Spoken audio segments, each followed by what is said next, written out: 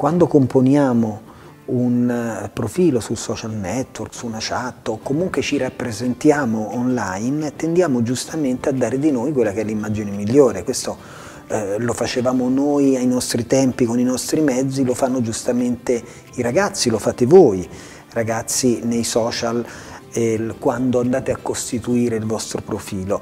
Però ricordatevi sempre che a parte questa operazione eh, che è comprensibile ovviamente, però che i limiti non sono in assoluto sinonimo di deficit.